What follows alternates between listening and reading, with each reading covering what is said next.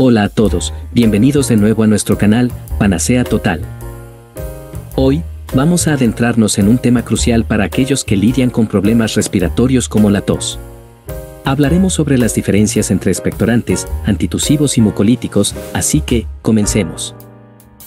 Cuando se trata de problemas respiratorios, es esencial entender las diferencias entre estos tres términos, expectorantes, antitusivos y mucolíticos.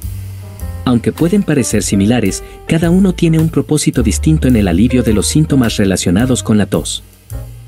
Primero, hablemos de los expectorantes y mucolíticos.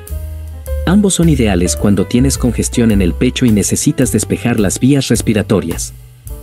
Los expectorantes ayudan a aumentar la producción de moco y facilitan su eliminación al hacer que los cilios en el tracto respiratorio se muevan más rápido. Esto hace que el moco sea más fino y menos pegajoso, permitiendo que se elimine más fácilmente a través de la tos.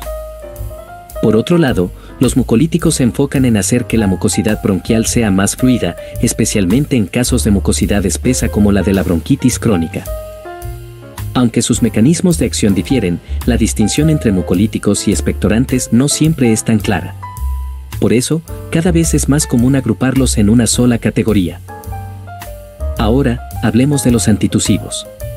Estos medicamentos son perfectos cuando tienes una tos seca e improductiva, sin síntomas de resfriado o gripe. Los antitusivos actúan en los nervios periféricos responsables de provocar la tos.